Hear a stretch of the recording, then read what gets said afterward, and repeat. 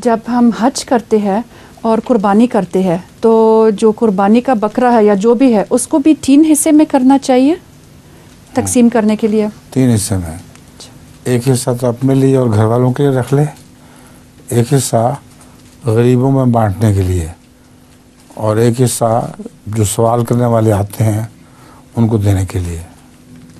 हजूर सवाल करने वाले से क्या मुराद है? साहिल जो गरीब लोग पूछने आ जाते हैं हमें भी दो उनको भी देना चाहिए।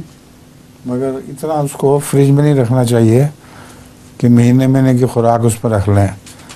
हमारे वहाँ एक गरबा में चिनोट में एक औरत थी उनका ये काम था।